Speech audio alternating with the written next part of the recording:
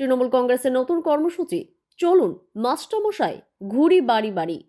কর্মসূচি শুরু হলো হুগলি জেলার শ্রীরামপুর থেকে। শুক্রবার শ্রীরামপুরের সাধারণ মানুষের বাড়ি বাড়ি গিয়ে রাজ্যের মুখ্যমন্ত্রী মমতা বন্দ্যোপাধ্যায়ের উন্নয়নের কথা তুলে ধরেন তৃণমূল নেতা কংগ্রেস।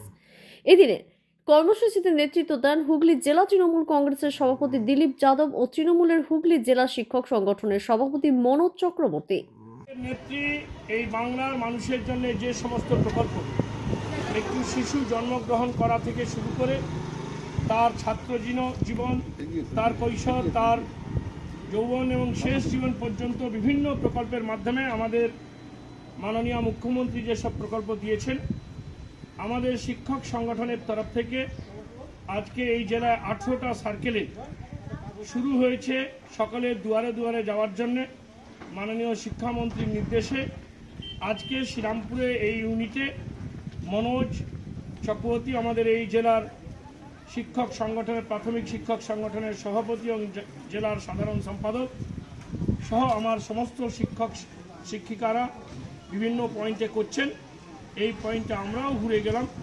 মানুষের কাছে দুয়ারে দুয়ারে গিয়ে আমরা লিফলেট দিয়ে যেমনি প্রচার করলাম, নিজেরা তাদের কাছে বললাম যে যদি কোনো প্রকল্প থেকে কেউ কোনো কমিউনিকেশন গ্যাপের জন্য যদি না পেয়ে থাকেন তাহলে আমাদের শিক্ষক মহাশয়রা যারা যাবেন, শিক্ষিকারা যারা যাবেন, তাদেরকে তারা জানাবেন। তারা তাদের মাধ্যমে এই সংবাদ সংগ্রহ করে সরকারের তরফ থেকে সেই সুযোগও তাদের কাছে পৌঁছে দেওয়া হবে। প্রাথমিকভাবে এই কর্মসূচি আজকে জেলা আঠারোটি সার্কেলে চালু হয়েছে এবং আশা করি সাতচল্লিশটি সার্কেলে এই প্রকল্প সাফল্যের সঙ্গে আমার প্রাথমিক শিক্ষক সংগঠনের সমস্ত শিক্ষক, শিক্ষিকারা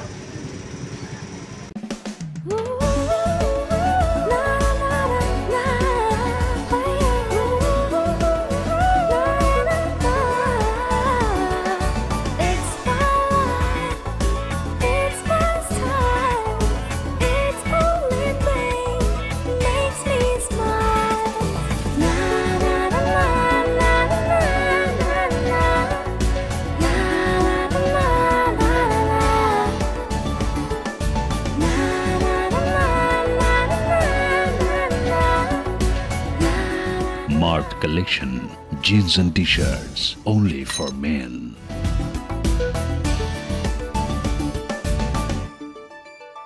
সময়ে খবর, সঠিক খবর, নিরপেক্ষ খবর।